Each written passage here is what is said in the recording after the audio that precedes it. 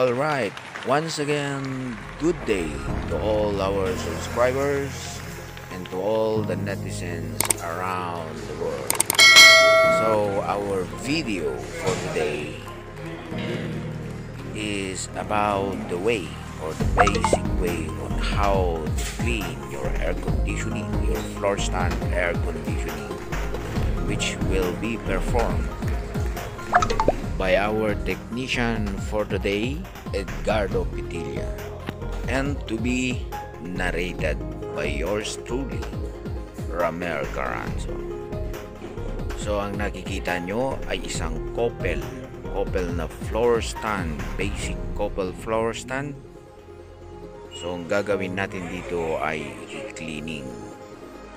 So basically, unang ginawa, tinanggal muna ang cover Then, tanggalin ang power supply. So, ang ating gagawin, tanggalin yung cord ng ating uh, indicator or yung kanyang control panel. Alright, so tinanggal natin yung cord para maitabi muna natin ang ating uh, front cover na nandoon ang ating uh, panel control panel ng ating uh, aircon. Alright, so ito yung kanyang evaporator. So as you can see guys, uh, madumi na. But inside, mapapansin nyo parang malinis. Pero sa gilid-gilid or sa gitna ng kanyang fins, nandiyan ang kanyang dumi. So parang malinis lang dyan sa likod, gawa nga ng yung hangin ng ating uh, aircon papasok. So hinihigop galing labas nito. Netong ating uh, um, rotary rotary blower. So tawag natin dito guys rotary blower. Alright, siya yung humihigop ng hangin from the evaporator then ibubuga niya sa kanyang uh, sa taas or yung kanyang uh, call that yung exit ng hangin. Alright so ito yung kanyang bunganga ng ating blower. So hihigupin niya yan then ibabato niya pataas. Then ang nakikita nyo is yung kanyang evaporator. Alright so madumi na. Ito ito ito. Ah ito yung kanyang uh, sensor. So ilayin lang natin ng konti kasi kailangan nating itabi ang ating uh, power supply. So yan yung kanyang power supply guys. Remember kailangan yung balutan nito at dapat hindi ito mababasa. So maaaring mag error or masira ang board natin kapag ito ay nabasa. Alright so sunod naman natin ang kanyang uh, cover. So kalasin yung cover para ang purpose nito para mapadaan natin ang tubig. Then balutan ang kanyang fan motor. Next guys. So magsasabon muna tayo. Sabunan ng maigi ang evaporator huwag gagamit ng lye solution. Kasi pag gumamit kayo ng lye solution, masisira yung fins ng ating evaporator, then uh, makukorroded ito. Lahat ng uh, bakal niyan, uh, kahit yung kanyang uh, fins na aluminum, malulusaw kapag ginamitan natin ito ng lye solution. Alright, so kapag kahit sa likod, sabunan din. Sabunan lang. Hanggat maaari, buhusan ito ng sabon. Kasi meron naman tayong pressure washer.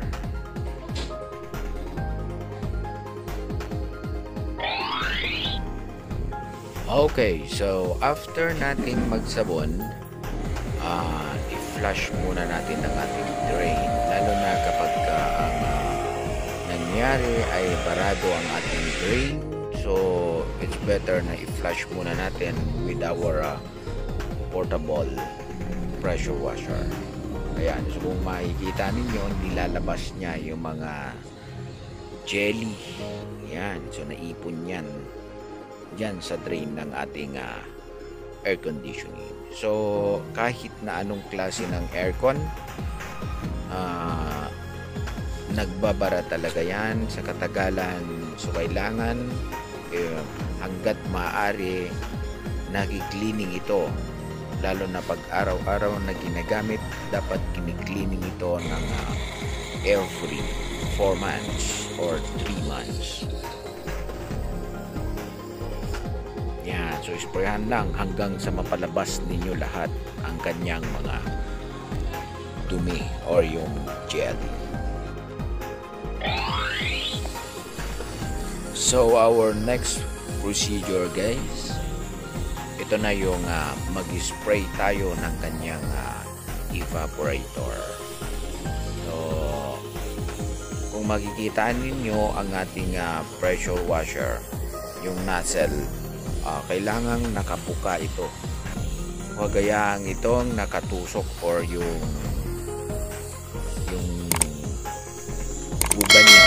patusok kasi pwedeng masira ang kanyang evaporator fins. So, sprayan lang thoroughly. Sprayan lang siya ng maigi hanggang sa lumabas yung tubig sa kabilang side kasi para matanggal ang mga nakabarang uh, dumi sa kanyang evaporator. So, gaya ng sinasabi ko lagi, huwag gumamit ng lye solution kasi nakakasira sa fins ng ating evaporator. Ayan, so nakikita nyo ganyan dapat lumulusot yung tubig. So after dun sa harap, isunod ulit doon sa kabilang side. Hanggat nakikita ninyo na may dumi or may lumalabas na mga dumi, huwag itong tigilan na i-pressure washer. Then after that, sabunan ulit. Sabunan ulit, lalo na kung madumi ito, uh, sabunan nyo. Sa pagsasabon guys, ingatan lang na matupi ang ating uh, evaporator fins. So next guys, yung kanyang uh, rotary blower. Sabunan din natin ito. Sabunan lang ng maigi. Then uh, after that, i-power spray natin ulit.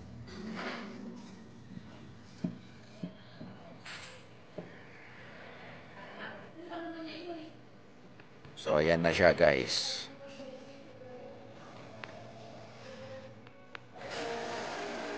Alright, so sunod na natin after natin magsabon power spray natin ulit ang ating uh, rotary blower make sure na matatanggal lahat ang dumi. Ayan, so makikita ninyo, kaya binuksan natin yung portion na yan para lumabas ang tubig habang tayo nagpa-power spray.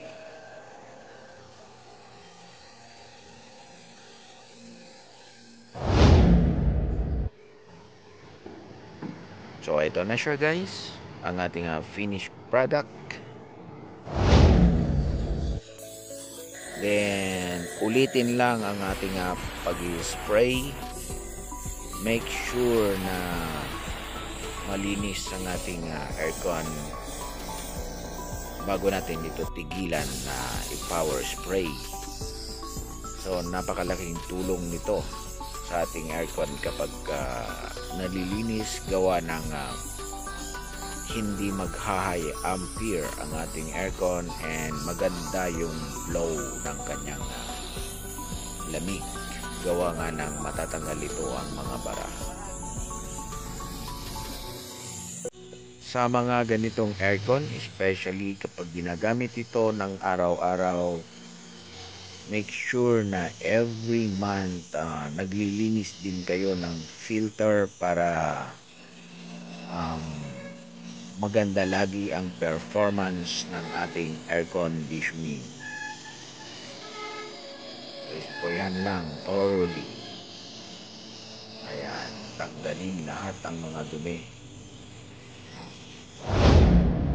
So maliit ang ating uh, power spray guys pero malakas siya. Then after the cleaning, of course, kailangan natin itong uh, patuyuan. Yan. So lahat ng parts, especially yung kanyang fan motor, huwag kalimutan ang mga kino-cover nating mga plastic. Ayan. So, linisan lang. Punasan lang para ito maganda at kaya ayang tignan. Alright, ayan. So, okay na tayo uh, in cleaning our evaporator or our indoor unit. Alright, so eto na siya guys. So there's no need to use a lye solution. Just uh, soap okay na. So next guys, yung kanyang uh, condenser naman or the outdoor unit. So sa outdoor unit, uh, mabilis lang ang paglilinis nito. Only you have to do is open the top cover. Ayan. Ayan siya. Kung nabuksan na natin, ito ang makikita ninyo inside our condenser.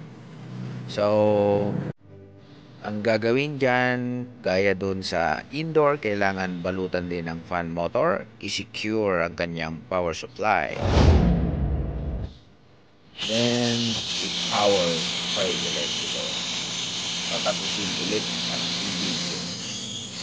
So, sa mga condenser, kung mapapansin, inuuna natin loob, gawa nga ng uh, pahigop kanyang uh, hangin. So, from condenser sa likod, yung blower, ibubugad niya paharap. So, ingat lang sa ating uh, pag-spray. Make sure na hindi mababasa ang ating uh, power supply and yung ating uh, fan motor. Balutan ito ng baby. So, next guys, yung kanyang likod naman. So, need ito na power spray ng maigi. Yun na para matanggal ang kanyang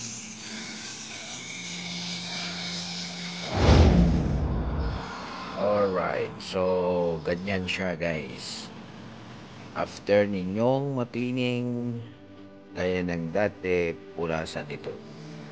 Punasan at make sure na wala nang natitirang dumi sa kanyang uh, condenser.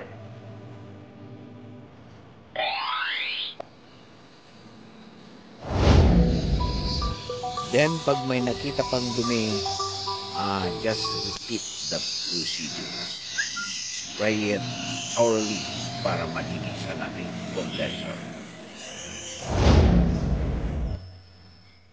Okay, so ito na yung ating uh, finished product. So napaka kintab na. Yan ang ating uh, likod.